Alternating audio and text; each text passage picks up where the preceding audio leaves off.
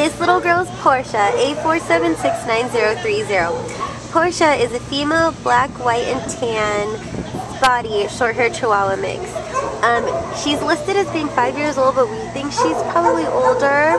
Um, not too sure how old she is, but she is very, very sweet and loving. She came to the shelter as a stray on October 22nd from Huntington Park, and she weighs a mere six pounds. This little girl is so sweet and cuddly, as you can see. She, she's just so loving. Um, she's a perfect little lap dog.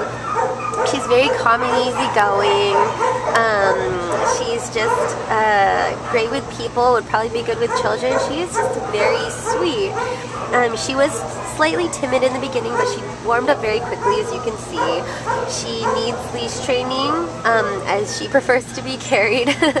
but um, other than that, she'd be great for anyone in an apartment or condo. She's very tiny and dainty. Um, but yeah, she would do great in a calm, patient, peaceful, and loving home. As um, she is just a sweet little senior. So please come and check her out. This is Portia. A4769030 at the Downey Animal Care Center.